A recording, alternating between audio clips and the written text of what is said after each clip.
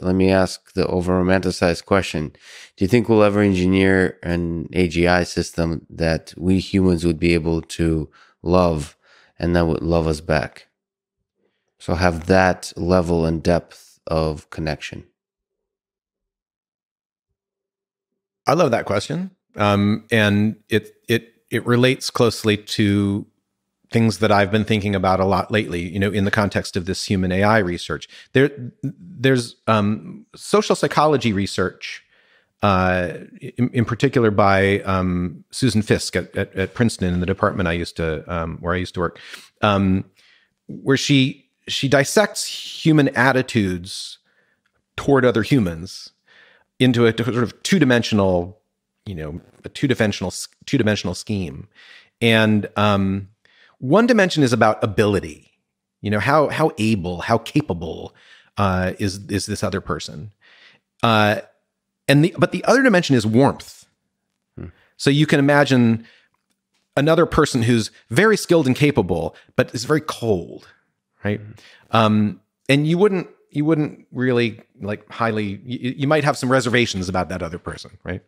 Um, but there, there's also a kind of reservation that we might have about another person who who elicits in us or displays a lot of human warmth but is you know not good at getting things done right? That that like the, greatest esteem that we we reserve our greatest esteem really for people who are both highly capable mm-hmm. and also um, uh, quite warm right? That that's that's like the best of the best. This i mean I, am just I, this isn't a a normative statement I'm making. This is just yeah. an empirical. It's yeah. an empirical statement. Yeah. This is what humans seem. This is, these are the two dimensions that people seem to kind of like, along which people size other people up.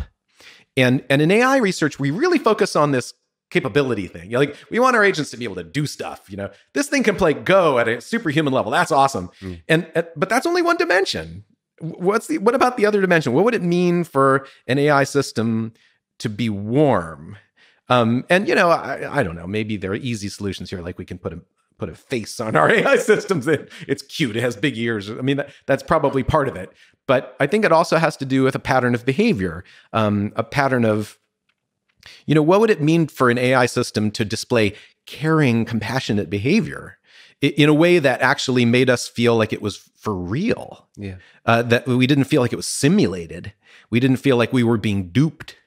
Um, to me that you know people talk about the turing test or some some descendant of it. I, I, feel like that's the ultimate turing test. You know is there a is there an ai system that can not only convince us that it knows how to reason and it knows how to interpret language but that we're comfortable saying yeah, that AI system's a good guy. You know, like I, I mean, on, that, on, the warmth scale, yeah, whatever warmth is, we kind of intuitively understand it, but we also want to be able to, to, yeah, we don't understand it explicitly enough yet to be able to engineer it. Exactly. And that's and that's an open scientific question. You kind of alluded to it several times in the human AI interaction. That's a question that should be studied and probably one of the most important questions. And humans, as we and humans, we humans are are so good at it. Yeah. You know, it's not just weird. It's not just that we're born warm, you know, yeah. like I, I, suppose some people are, are warmer than others given, you know, whatever genes they manage to inherit. But there's also, there's also, there are also learned skills involved, right? I mean, there are ways of communicating to other people that you care, uh, that they matter to you, that you're enjoying interacting with them, yeah. right? Um, and we learn these skills from one another and it's not out of the question that we could build engineered systems. I think it's hopeless, as you say, that we could somehow hand design these sorts of these sorts of behaviors.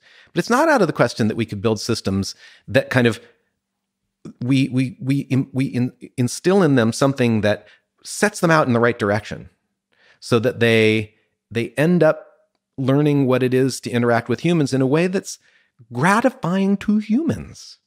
I mean, honestly, if that's not where we're headed, I want out. I think it's exciting uh, as a scientific problem, just as you described. I, uh, I honestly don't see a better way to end it than talking about warmth and love. And Matt, I don't think I've ever had uh, such a wonderful conversation where my questions were so bad and your answers were so beautiful. so I, I, deeply appreciate it. I really enjoyed it. Well, it's thanks been for, very fun. I, you know, it's, I, as you can probably tell, I, um, I really, you know, I there's something I like about kind of thinking outside the box yeah. and like, yeah. Um, so it's good and having an opportunity to do that. Awesome.